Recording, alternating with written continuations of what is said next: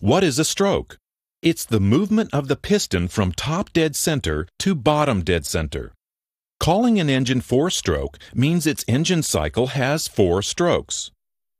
A four stroke gasoline engine uses internal combustion, so those four strokes must include the five key events common to all internal combustion engines intake, compression, ignition, power, and exhaust. Let's look at a simplified model. The intake stroke starts with the exhaust valve closed, the inlet valve opening, and the piston at its highest point, top dead center. It starts to move down, increasing the volume above the top of the piston.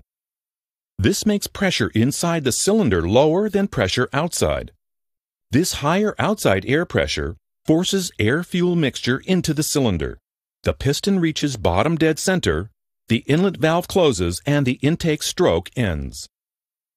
Both valves stay closed as the piston leaves bottom dead center. The piston moves up, squeezing the air-fuel mixture into a smaller and smaller volume, which compresses it. That makes its temperature rise, and that makes combustion easier. Just before the piston reaches top dead center, the next key event occurs ignition. Burning expanding gas generates the force to push down the piston. This is the power stroke that drives the engine. The piston now moves from bottom dead center to top dead center. The exhaust valve opens and the piston pushes out the leftover gases. Let's look at the cycle operating. Intake takes in air-fuel mixture. Compression squeezes the air-fuel mixture into a smaller and smaller volume. Ignition. The mixture under pressure is burned. Power.